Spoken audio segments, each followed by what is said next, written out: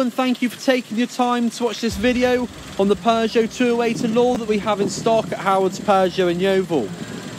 This model is a 2017 registered 17 plates, finished in the Nera black metallic paint and it is the 1.2 PureTech petrol engine. I'll give you a quick view around the condition of the vehicle. As expected from a, an approved used car, it's in real nice condition with no marks on any of the alloy wheels, neither is uh, on the paintwork as well. From the front, as you can see, it has got the LED daytime running lights, which are real good for both the looks of the vehicle, for the safety as well for the visibility on the road. There's no scratches or dents at all on the front panels or the bonnets. Neither is there on the panels surrounding the alloy wheels. Here is the second four alloys which is in lovely condition also.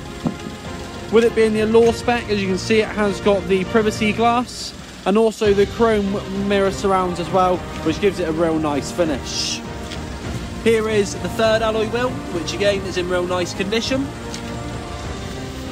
So come around to the rear of the vehicle, you can see it has got the LED 3D claw effect lights and the parking sensors also. Here is the final alloy wheel, which just like the other three is in perfect condition. Going down the passenger side, there's no marks at all, scratches, chips or dents. So all in all, the outside of the vehicle is in lovely condition. Here is the rear seats of the 208, which as you can see are in real nice condition. There's no marks on the headlining, neither on the carpets as well.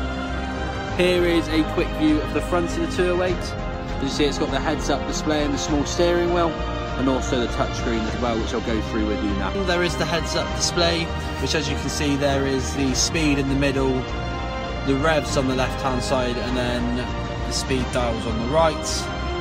This model has just done 6,393 miles so significantly less than average. As you can see with the small steering wheel it has got the controls for the stereo, change the source of media, and also for the phone as well.